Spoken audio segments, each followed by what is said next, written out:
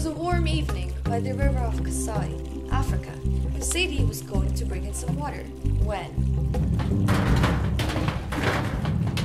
thunder was heard. The clouds turned black. Beat of bone drums was heard. And Saidy was bending into the water, looked up, and said, Holy Mother of all creation, what is going on? I must be going mad. She stood up and was about to turn when a mysterious woman appeared. She seemed beautiful, but there was nothing human in her face. Saidy stared, open mouthed. Who, who, who are you? I am life and death. I am grief and joy. I am something you mortals will not understand. But follow me and you will see. Come, my child. Without a thought, she stepped forward. She disappeared a heartbeat later. From the corner of a bush, Fatima stared as everything went to hell. She jumped out from the bush and ran toward the riverbank, where Saidy was a minute ago. Saidy! Saidy! The woman appeared. Her smile was vicious and cruel as she began singing. I am Mommy Wata, your worst nightmare. Do not disturb me again. But, but, but why? You want your sister back? Then answer this riddle. There are those who seek me a lifetime, but never we meet, and those I kiss, but who trample beneath my ungrateful feet.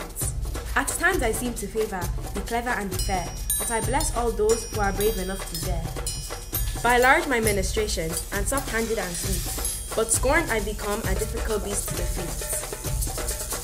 For each of my strikes, land a powerful blow. When I kill, I do it slow. Fatima blinked, lost and confused. And I am supposed to answer this. You got until the next full moon to answer. Should you fail, you die. It was dusk when Fatima arrived home. By then, a search party began for her and her sister. She is. We found Fatima. Where's my other daughter?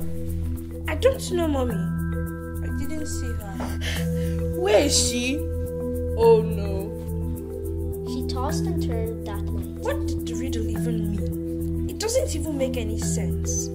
She counted the days until the next full moon. One day? It's tomorrow.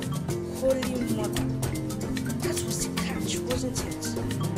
How am I supposed to answer it? In one day? Hmm. Difficult place to defeat. Had to be a disease then. She was still repeating the riddle when she fell asleep. After hours of nightmares, Fatima woke up. That old hag thinks she can get the best of me. Well, I'll show her. She carefully dressed up, had a bit of breakfast, and left. For her sister, she was going to answer the riddle. For her sister, she was going to face Mummy Wata. After half an hour of walking, Fatima reached her dreaded destination.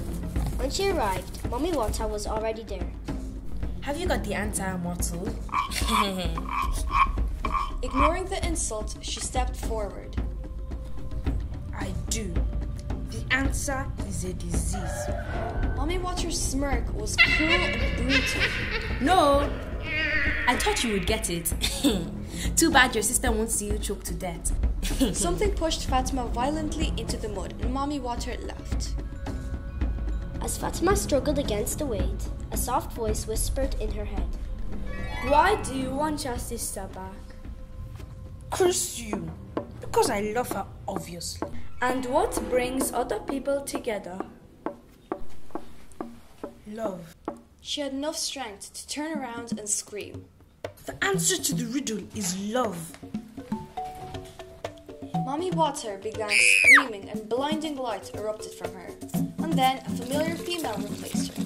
She had enough time to whisper, Saidy, before she fainted. She awoke in her bedroom, coughing, and Saidy ran over to her. is it really you? Saidy? It's okay, Fatima. It's okay. To this day, neither Fatima nor Saidy remember Mummy Wata, and they lived happily for the rest of their lives.